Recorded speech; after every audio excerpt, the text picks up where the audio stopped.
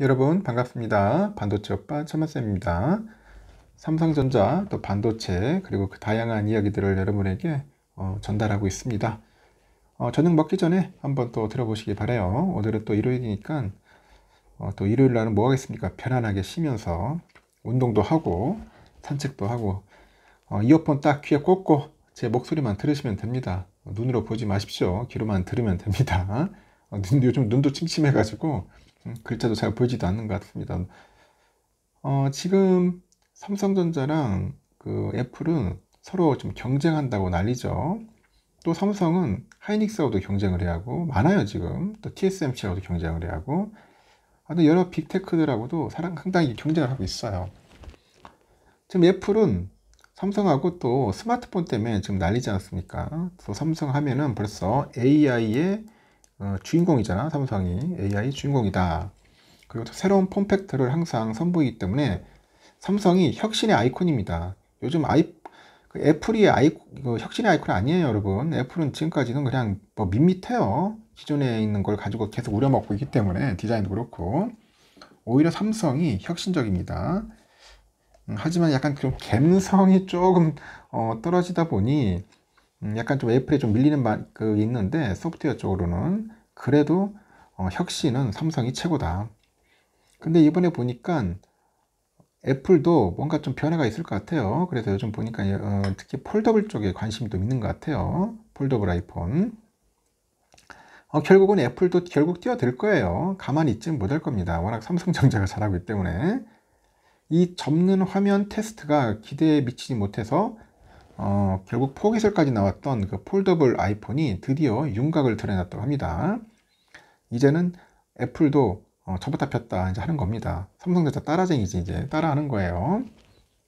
어, 미국의 IT 전문 샘 모바일이 있는데 여기에 유력한 그 소식통을 인용을 했어요. 그 최근에 애플이 foldable 패널 생산업체 삼성 디스플레이랑 이 폴더블 디바이스 개발을 위한 협약을 맺은 것으로 보인다. 이런 거 보면은 참 삼성 디스플레이도 대단한 기업이야. 이 삼성 디스플레이가 삼성전자 거잖아요. 자회사잖아. 결국은 애플이 또 만들면은 삼성전자도 잘 되는 거야. 어? 잘 되는 겁니다. 왜냐? 디스플레이 많이 팔아먹거든. 또 애플이 한두 대겠어요. 엄청나게 팔아먹는다고요. 아주 잘 됐으면 좋겠어, 애플이 나는. 어? 그래서 또 삼성 디스플레이도 돈도 벌고. 애플은 삼성 디스플레이뿐 아니라 이제 복수의 패널 생산 업체들과도 음, 협의를 진행 중인 것으로 전해졌다고 합니다. 하지만 이 폴더블 디스플레이는 사, 그 삼성 디스플레이만한 그런 기업이 없어요. 여러분 품질이 넘사벽이죠 넘사벽 음, 삼성 디스플레이 따라가려면 힘들 겁니다. 그래서 애플이 폴더블 폰 시장에 새로운 활력을 불어 넣을 것이다 그러면서 삼성은 마침내 심각한 경쟁을 하게 될 것이다 그렇게 이제 전하는 거죠. 어, 그러다 보니 애플의 그 마니아들이 들썩입니다. 들썩 들썩거려요. 예상 이미지 사진이 이제 등장을 했어요. 완전 소름이 돋을 정도로 예쁘다. 응? 소름이 돋을 정도로 예쁘다고 호평 일색이야. 호평. 응? 호평 일색이더라. 제가 봐도 좀 뭐 예쁘장하게 만들면 그렇대 거의 비슷해요 여러분 이게 로고만 뭐 애플 로고만 박혀 있을 뿐이지 삼성전자 지금 가지고 있는 플립폰하고 별 차이 없어. 외관은 어차피 비슷비슷할 겁니다. 어, 미국 IT 매체의 그 9 to 5 Mac도 애플이 최근에 폴더블 기기 개발에 속도를 내고 있다고 전했는데 애플 소식통의 말을 인용을 해보니까 최근에 애플이 폴더블 기기에 대한 작업을 가속하고 있고요.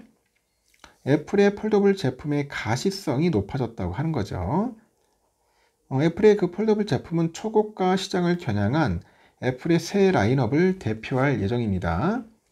아, 특히 폴더블 아이폰의 경우에는 두 개의 화면 크기를 이제 검토 중인 것으로 알려져 있고 어, 이미 애플은요 폴더블 폰을 바닥에 떨어뜨리면은 자동으로 탁 접혀가지고 뭐 액정이 절대 안 깨지는 그런 기술을 개발한 것으로 알려졌다. 뭐 그런 이야기도 있는 것 같아요. 떨어지면은 탁 접힌다. 어, 그, 그런 기술 상당히 좀 신박하죠. 신박합니다. 제가 봐도 신박한 것 같은데.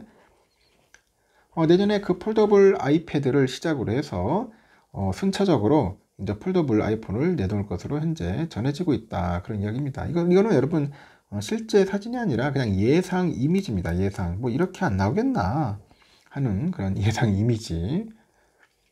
음, 애플은 삼성 폴더블 폰을 겨냥해서 쓸데없이 왜 접냐 이런 회의적인 반응을 보였었어요. 왜 접었어? 그냥 피면 되지. 요 하지만 시장이 점차 커지다 보니까 음, 애플도 결국은 폴더블 시장에 뛰어든 겁니다. 니들은 왜 접냐? 어? 삼성이 하겠죠.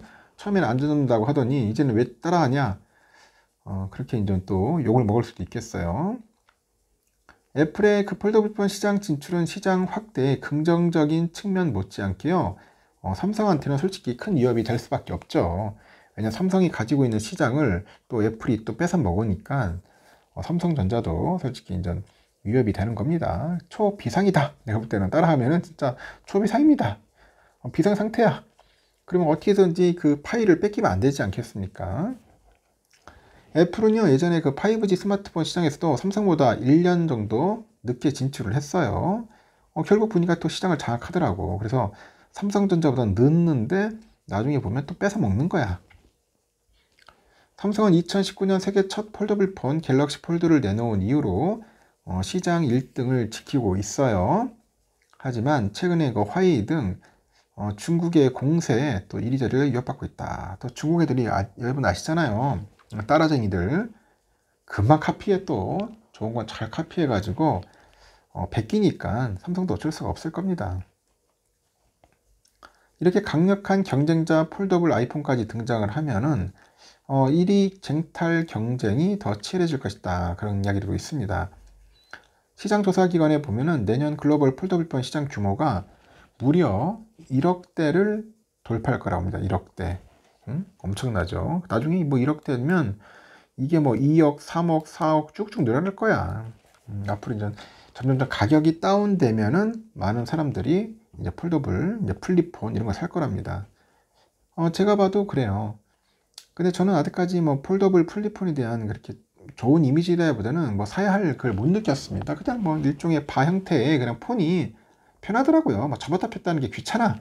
여러분 좋습니까? 접었다 폈다는 거. 난 별로 귀찮더라고요. 그냥 기존에 있는 그냥 바 형태의 폰이 좋아요. 근데 어, 요즘 젊은 친구들은 또이 접는 걸 또 좋아하는 분도 있더라고요. 깔끔하니 뭐 반으로 접으니까 뭐 작아지니 하면서 좋아하는 분도 있습니다. 자기의 취향대로 하면 되겠죠. 그렇게 음, 접히지 않는 일종의 바 형태도 오래 갈 거고 이 접히는 폰들도 앞으로는 많이 팔릴 겁니다. 그리고 애플이 또 참여를 하면은 시장 규모는 더 커질 것이고 그 큰 시장에서 삼성전자가 어떻게 하면 또 살아남을 수 있을지 점유율을 유지할 수 있을지에 대해서 어, 심각한 고민과 연구 개발이 필요하지 않을까 하는 생각이 듭니다. 하여튼 빨리 나왔으면 좋겠어요. 애플 거. 저도 궁금해집니다. 일단은 여기까지 하고요. 어, 또 다음 시간에 또 뵙도록 하겠습니다.